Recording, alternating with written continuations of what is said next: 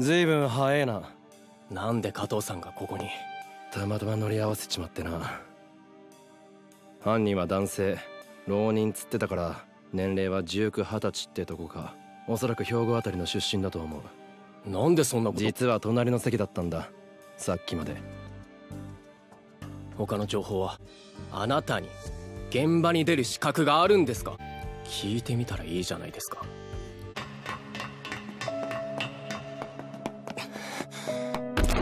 あ？皆さん警察の方がいらっしゃいました。自己紹介をプリーズ。警視庁の星野です。何人かでいいので人質を解放して。はいストップ！ああ来るなって言ってんだろ。有名人になっちゃいましたね。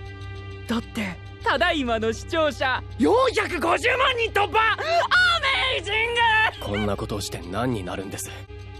本気だぞ！やめろ！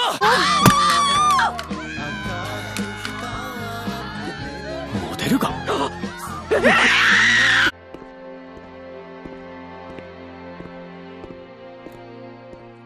神戸さんでしたね。